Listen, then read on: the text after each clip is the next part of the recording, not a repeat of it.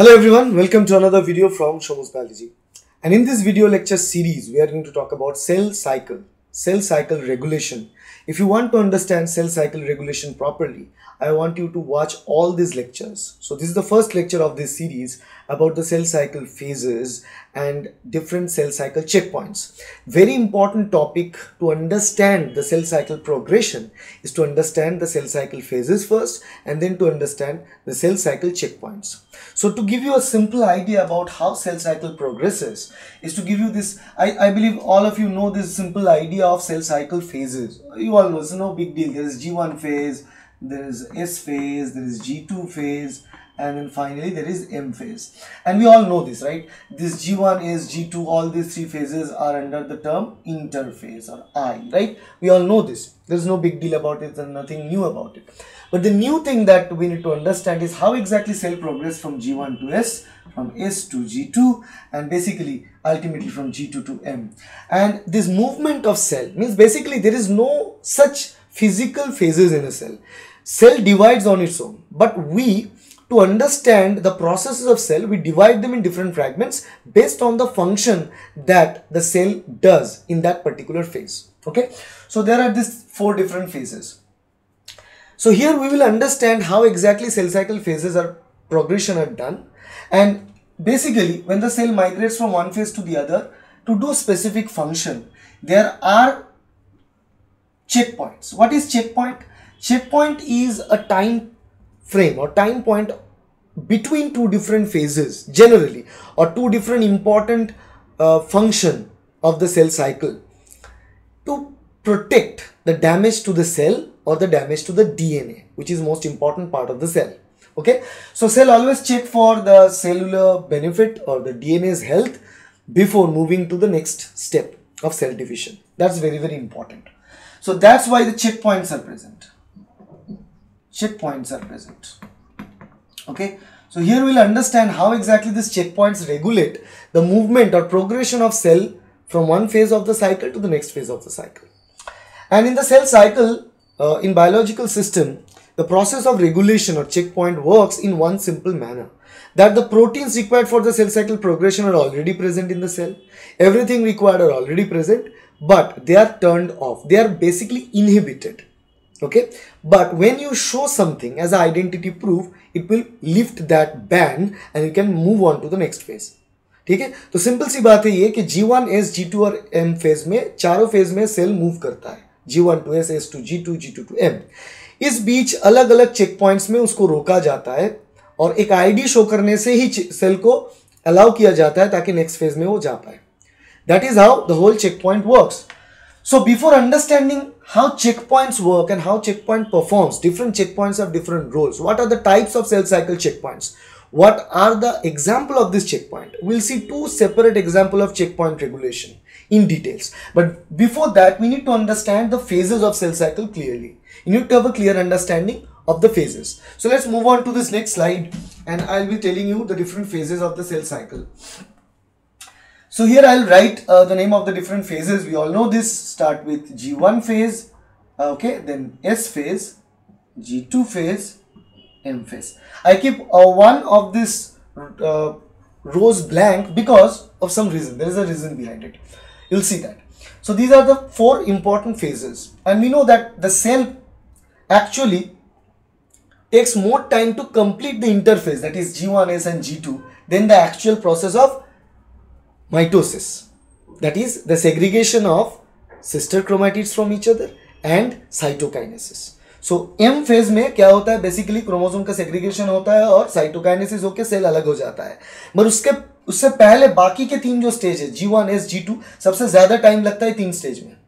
So now what will do in the function part will understand the function of all this phases so G one and G two uh, you can either call it as a growth phase or gap phase but i prefer to remember this as a growth phase because it sounds the growth of the cell. Basically g1 phase is a, is a phase where what happens basically the production of proteins proteins are produced mRNAs are uh, first produced then proteins are produced. Which kind of proteins? The proteins necessary for the DNA replication.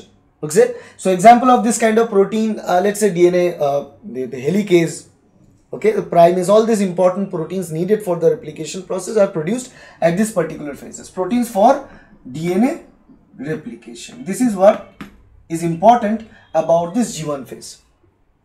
The second one is S phase. S means synthesis phase. Synthesis phase is a time where the DNA synthesis take place. DNA replication. That's it. DNA replication take place in the S phase. Then comes the G2 phase. Again another situation. So G2 phase what happened? Basically again the growth of the cell. In G1 phase not only the protein synthesis is done but also cell grows in size.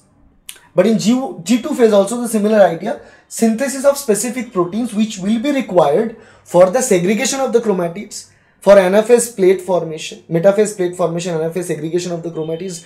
For all these things, several proteins are needed. So all this protein synthesis, uh, first the transcription, then translation and protein synthesis necessary in the G2 phase. Then lastly, the M phase, mitosis phase. In this phase, what happens? Cell division means segregation of chromatids. So chromatid segregation and at the end division means cytokinesis okay division of the cell into two cytokinesis. All these things are done here after this M phase. So these are the four different phases. And in all these different phases they have different functions to play. All right so these are the four important phases. I believe all of you know this. Now i'll move to the uh, checkpoint criteria and i'll take a different color for this. I'll take uh, black color for this.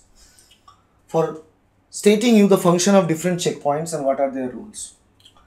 So what are the function of the checkpoints? So I'll write down the checkpoints. Why I leave gaps between these phases be because there are checkpoints that are present between the phases.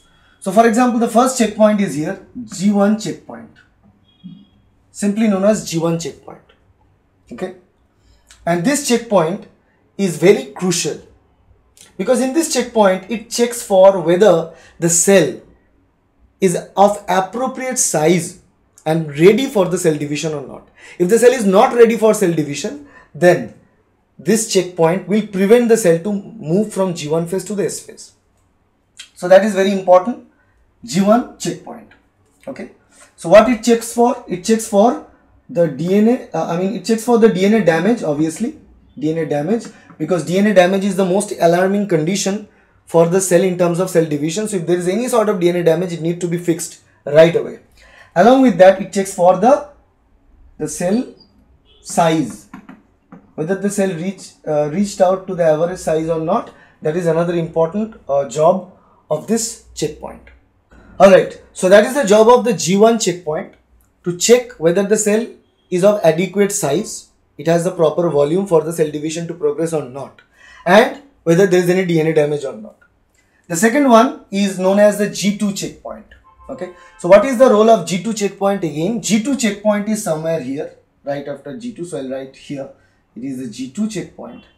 What this G2 checkpoint does right here actually G2 checkpoint between S and G2 uh, right after the S phase or synthesis uh, phase what is the job of G2 checkpoint? G2 checkpoint checks for again DNA damage.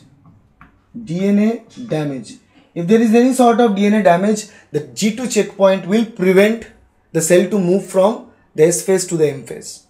And one more important thing that this G2 checkpoint does is also check for any inappropriate DNA synthesis. That means in DNA replication process, sometimes what happens? Addition of erroneous nucleotides.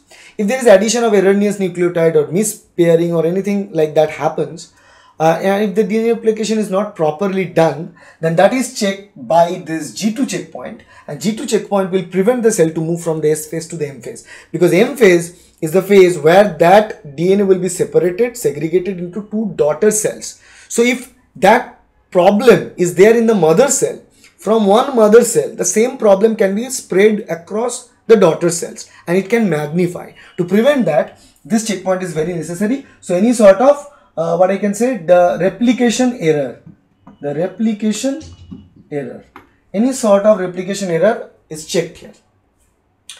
After that, what else we have? We have the end or the last checkpoint that is in the M phase. This is where we have this last checkpoint and this checkpoint is known as the mitotic checkpoint.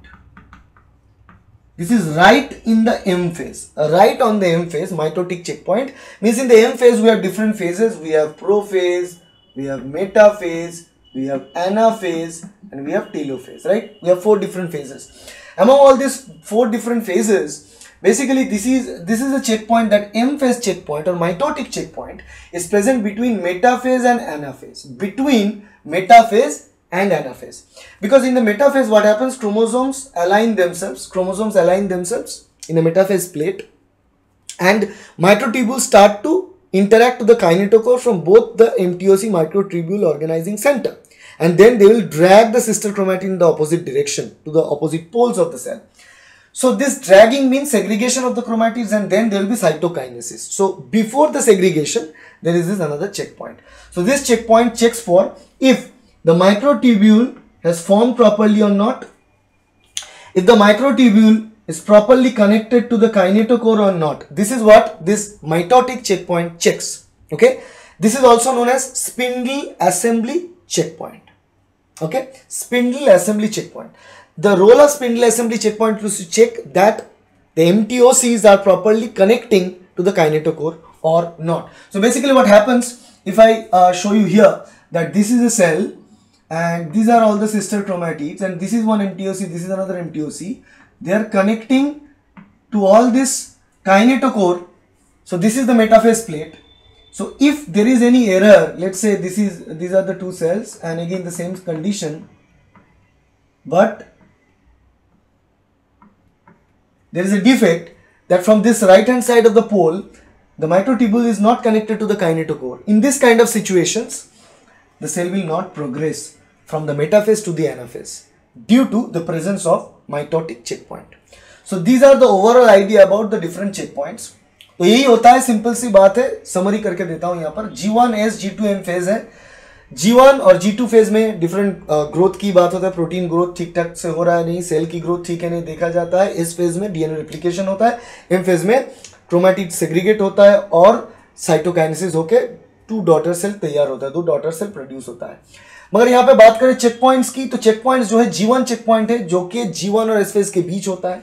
Ji to check point है, जो कि S और G to के बीच होता है, ठीक है? और फाइनली एक माइटोटिक चेक पॉइंट है, जो कि मेटाफेज और एनाफेज के बीच होता है। Job of G one checkpoint क्या करता है जीवन चेक पॉइंट वो देखता है कि डीएनए डैमेज है या नहीं, या फिर सेल प्रॉपर साइज़ रीच कर चुका है या नहीं। एक सेल डिवीज़न के लिए एक प्रॉपर साइज़ चाहिए होता है। न्यूक्लियस टू साइटोसॉल रेशियो को मेंटेन करना होता है। अगर वो मेंटेन ना हो तो सेल साइकिल नहीं होगा। तो वो देखता है। जी टू चेक पॉइंट क्या देखता है कि डीएनए डैमेज है या नहीं? या फिर जो रेप्लीकेशन हुआ है डीएनए को, ठीक ठाक से हुआ है या नहीं?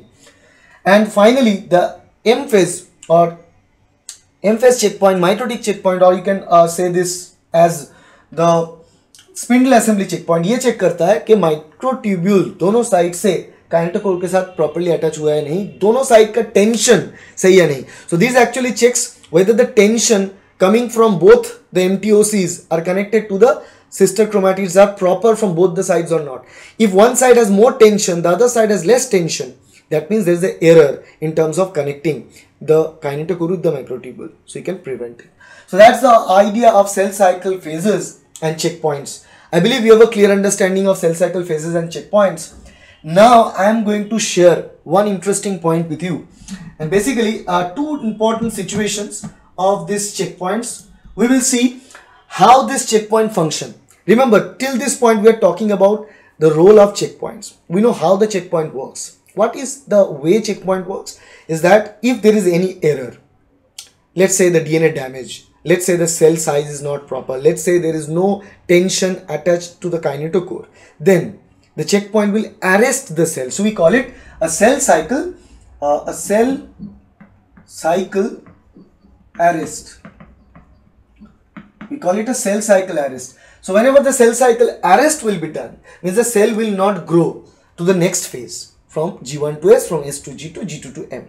That's how it's done. So here I'll share uh, with you one simple example of this transition. Okay, how exactly uh, G1S checkpoint works, what is the proper way of G1S checkpoint works. We'll also talk about how and what is the way that spindle assembly checkpoint works. So two of the important checkpoints will be discussed with this video in the next half.